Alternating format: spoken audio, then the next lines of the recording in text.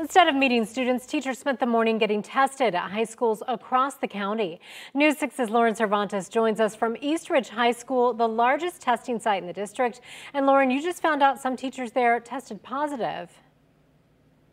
That's right. The district tells me of about 3,000 teachers who were tested at all eight of their locations today. Six tested positive for COVID 19. We had long lines at all of them, from Umatilla all the way down to Clermont, you know, at East Ridge High School, which is our largest. Lines for free rapid COVID 19 tests offered by Lake County schools. The district tells News 6 results come back in as little as 10 minutes and are 95% accurate.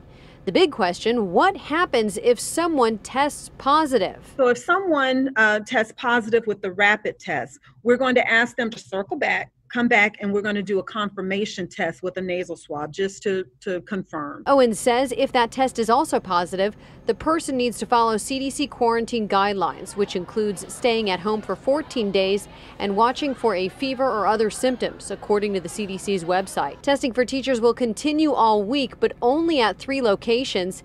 East Ridge High School, Eustis High School, and Lake Square Mall from 7 a.m. to noon. Adult medicine has said that they will continue to make the tests available to any student or staff who shows symptoms and wants to, you know, have that test done just to make sure, see if everything is okay.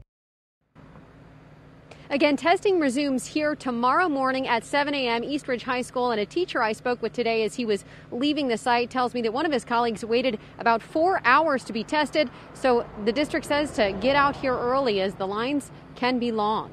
For now in Lake County, I'm Lauren Cervantes getting results, News 6.